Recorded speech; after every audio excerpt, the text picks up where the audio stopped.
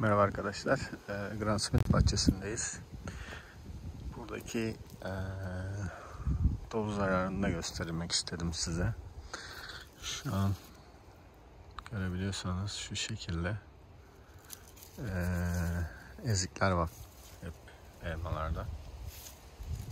Şurada yaprağı parçalamış. Delmiş. Şu şekilde şurayı da göstereyim.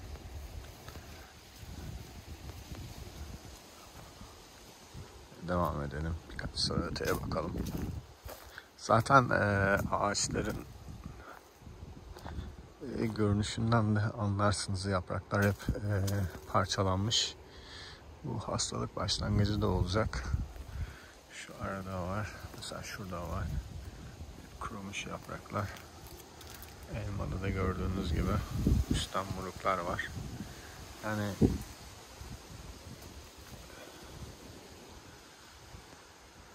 bir şekilde kendini toparlama ihtimali var ama şöyle hep ezikler var. Yani bu da Grand Smith'lerdeki zararımız. Ağaçlar zaten kelaynak gibi olmuş. Yapraklarda hep problem var. İlaçlama da yapamıyoruz. Hava çok rüzgarlı. Sabahları çok erken saatte kalksak bile bir veya iki tulumba ancak atabiliyoruz. Bu da sıkıntı yaratıyor tabii ki. Çünkü arazimiz fazla. Ee, bu video çekmiştim. Sulama videosu. O bahçe. Gördüğünüz gibi biraz yerleşme yapmış. Ama hep e, buruk elmalar.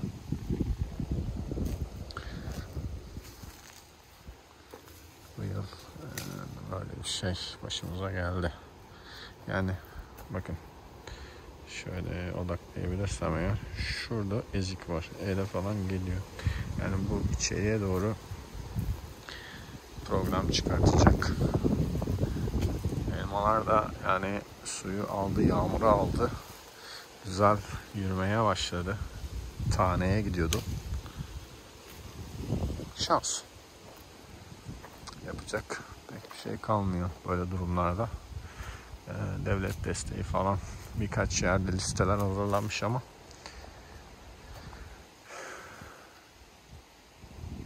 pek bir sonuç olacağını sanmıyorum. Anca borç erteliyorlar.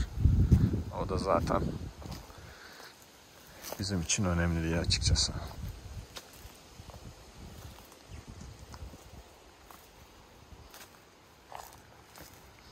Yere dökme yapmamış.